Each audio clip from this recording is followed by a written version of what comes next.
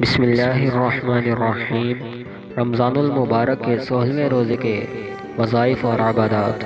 Video شروع کرنے سے پہلے جو ناظرین ہمارے چینل پر نئے ہیں، ان سے گزارش ہے کہ چینل کو سبسکرائب کر لیں اور بیل آئیکن کو پریس کر دیں تاکہ مزید ویڈیوز آپ تک بآسانی پہنچتی رہے۔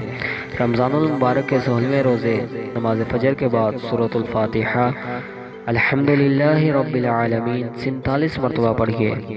نماز ظہر کے بعد آیت الخرسی گیارہ مرتبہ پڑھیے اور نماز عصر کے بعد یا حیو یا قیوم سو مرتبہ پڑھیے اور نماز مغرب کے بعد درود ابراہیمی پچیس مرتبہ پڑھیے اور نماز عشاء کے بعد صلاة التسبیح چار رقط نفل نماز ایک مرتبہ پڑھیے صلاة التسبیح کے بعد سات سلام گیارہ مرتبہ پڑھیے سات سلام یہ ہیں سلام قول من رب الرحیم سلام على نوح في العالمين.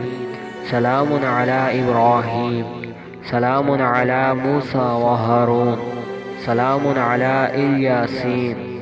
سلام عليكم طبتم فادخلوها خالدين. سلام حيا حتى مطلع فجر سات سلام جو قرآنی آیات ہیں، دراز عمر، حفاظت، جان و مال کے لیے بہت مجرب ہیں۔ جن ناظرین ابھی تک چینل کو سبسکرائب نہیں کیا ان سے گزارش ہے کہ چینل کو سبسکرائب کر لیں اور ویڈیو کو زیادہ سے زیادہ شیئر کریں۔ رمضان المبارک کے تیس روزہ کی ویڈیو، آل بوس ویڈیو بائیس پچپن چینل پر اپلوڈ ہو گئی ہے۔ آپ وہاں سے دیکھ سکتے ہیں۔ اللہ حافظ۔